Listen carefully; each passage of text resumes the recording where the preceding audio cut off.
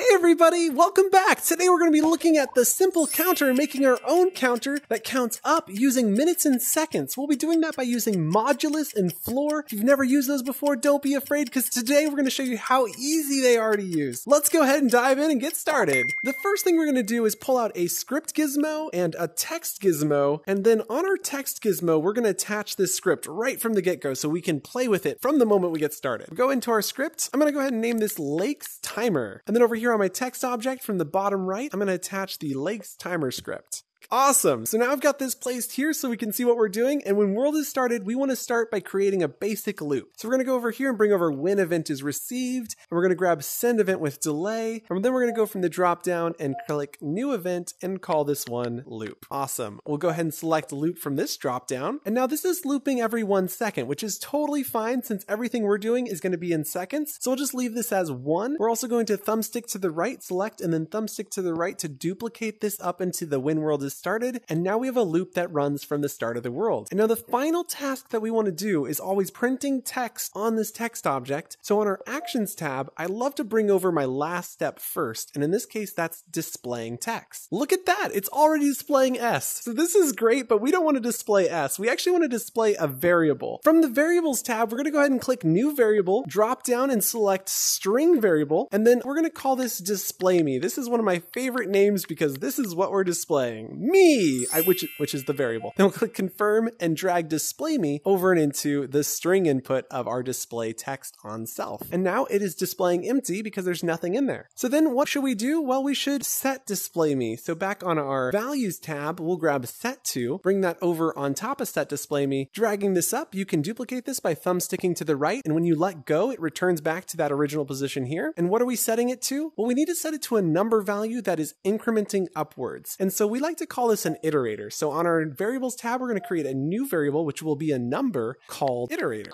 Well, then go ahead and drag iterator over and you'll realize there's an error. This is because there's a type mismatch because a string and a number are not the same. So let's go ahead and delete this. And then back on our values tab, you'll see that there's a variable as string, which allows us to convert numbers to string. So we drag that over, drag iterator into the input slot of the as string, and now there are no errors and we should be receiving a zero. And so now to make this count upward, we go back to our values tab at the very top, grab set to, put put that on top of display me. And then the, what are we setting? Well, we're going to be setting the iterator. So we thumbstick to the right there again. And then over on our operators tab, we can grab the plus symbol let go of that over here on the right, then we're going to duplicate iterator into the A slot because we want this iterator to go up. So we have to add to its value. And then I'm going to grab this one from up here and just duplicate. If you want to grab a different one, it's found at the values tab at the bottom. You'll see number input. All right, so now that I've got this set up, you can see it is counting upwards. So congratulations, that is a huge first step. We can then drag this to the bottom because what I realized is that it starts at zero and goes up by one. But if I have it at the top, it starts at one and we want it to start at zero. So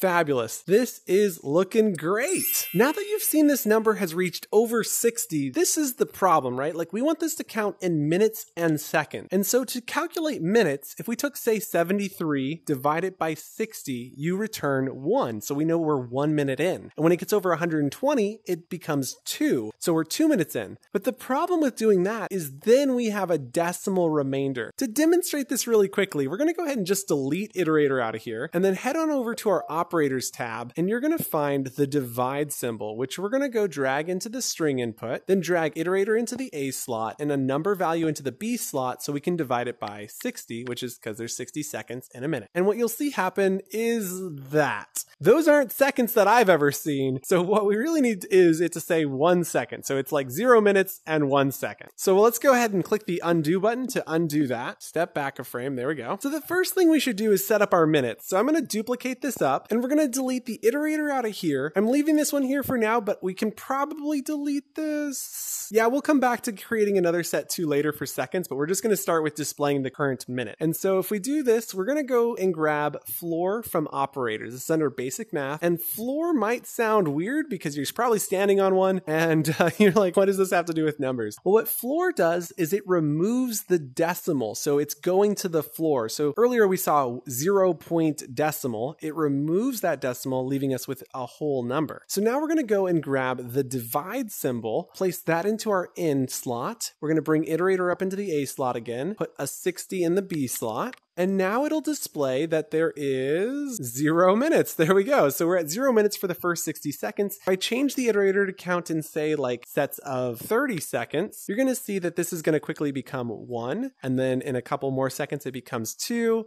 and so on and so forth. So it is working. This is great. Now, the next thing we need to do is display seconds. So I'm going to go ahead and click undo again so we can only add by one second at a time. And to add seconds, we're going to then go and grab this set to duplicate, delete this from here. I'm grabbing the plus symbol from here, but you can also grab a clean one from right here. So I'm just going to bring this one over, drop it in here. We want to add to display me. So we're going to grab display me and put it over in the A slot. And what we're adding is going to be a concatenation, which if you've ever heard that word before is pretty scary, but it really just means to add two things together. So it's like A plus B equals AB, right? So A plus B plus C equals ABC. And it, like I said, not scary. And so then if we grab the plus symbol again, we're going to concatenate three values. So display me is that minutes that we've already got. A is going to be the colon that goes between minutes and seconds. And so if we go over to our values tab at the bottom, you'll find string input. And so we're going to put that into the A slot. And for mine, I'm going to put a space, shift, colon, space. And then in the B slot, we want to put our seconds. And so the question that you should be asking is how do we calculate seconds? And there's actually a really easy way to do it. It's called modulus. And if you've never used modulus before, it also sounds scary. I mean, most of these things do until you use them and then you use them and you're like, oh, got it. And to be very, very fair here, I was very scared of all of these when I got started. And now that I use them all the time, they've really leveled me up. So I'm hoping today you've learned some really cool tricks and that these are helping you guys. And if you have questions, please be sure to leave them in the comments. So what is modulus? Well, it looks like a percent symbol, but please note it has nothing to do with percent. It's just the symbol that's used to represent modulus. And so what we do is throw the modulus symbol into this B slot. But you'll remember we need to convert it to a string because a number is not a string. So we're going to go back to our values tab, grab the variable as string, place that in here first, then go back to operators, grab that modulus symbol, and now I'll tell you how it works. Modulus is going to take two inputs. The A gets divided by B, and whatever the remainder is, is what is returned. So remember how we got a decimal when we were dividing by 60? Well, instead of returning a decimal, it returns the whole value, which is the remainder. So we're just going to duplicate this down. So we take iterator into A, 60 goes into B, and it literally instantly works. Look at there's one, two, three. And other than lacking an extra zero in front of it, this is a working counter that counts upwards, counting minutes and seconds. Like unbelievable.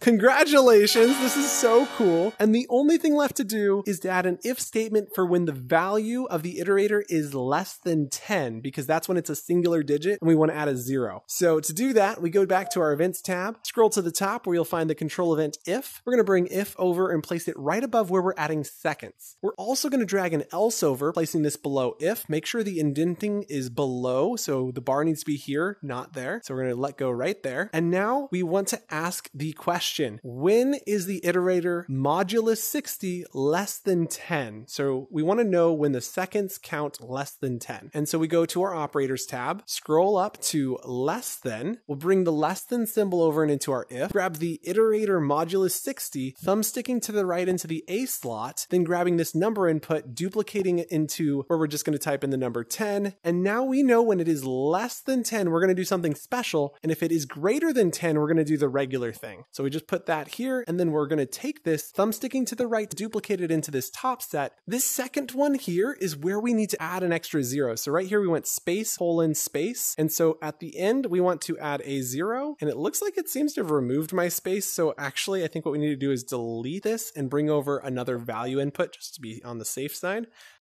We'll let go of the string input here, and then we can type in space, shift, colon, space, zero. Now this zero gets added to the number, which then looks like that. Beautiful. Now you have a counter that counts up in minutes and seconds. It's actually pretty similar to do hours. And I mean, you could even do days. So you've got the basics to know how to do basically any counting. Great work. This is fantastic. And over here, don't forget, you can always come to the essentials bundle where we have this amazing simple counter that you can use if you don't want to write the script yourself. And you'll notice that when you go inside, it actually has some booleans, which allow you to say if count up, set time plus, or set time minus if not count up. Don't worry, boolean just means true or false. Nothing to be afraid of there. Great work. Keep learning. I'm so excited to see what you are all going to create. Don't forget to like and subscribe, and we'll see you in Horizon. Bye!